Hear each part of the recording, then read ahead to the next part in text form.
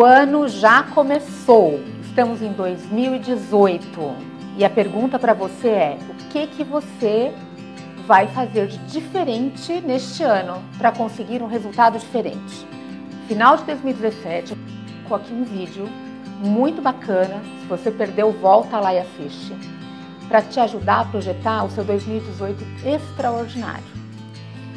Agora, eu quero falar com você aqui uma coisa muito importante que é a seguinte: qualquer resultado que a gente queira na vida, a gente só consegue se nós tivermos ações na direção do que nós queremos.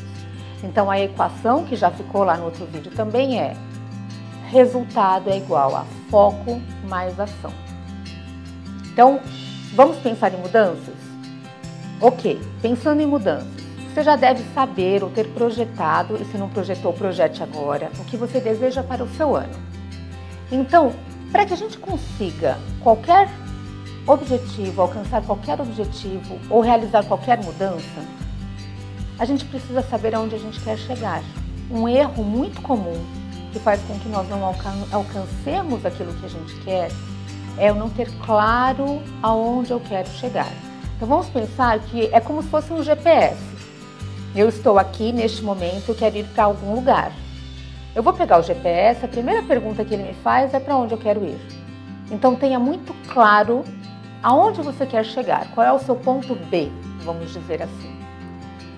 Feito isto, e isso você pode fazer para metas maiores ou menores, você vai ter que pensar aonde você está. O GPS vai te perguntar qual é o seu ponto de origem, se eu não sei aonde eu estou, ou se eu não sei aonde eu quero chegar, se eu não tenho esses dois parâmetros, eu não consigo definir rotas.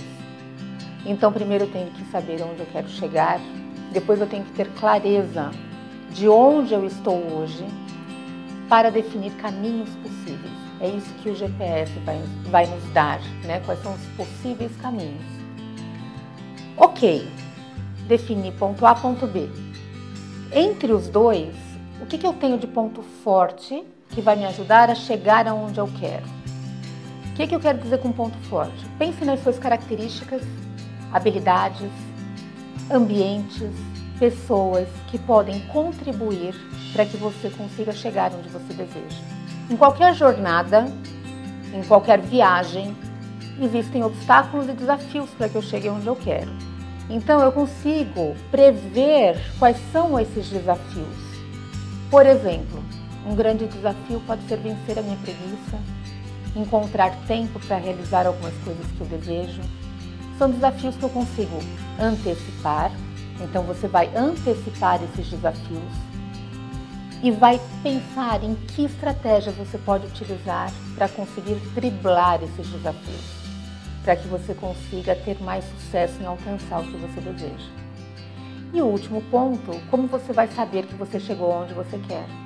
Quais são os parâmetros que você vai utilizar?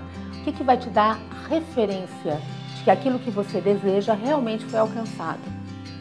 E para finalizar, comemore sempre. Comemore o quê?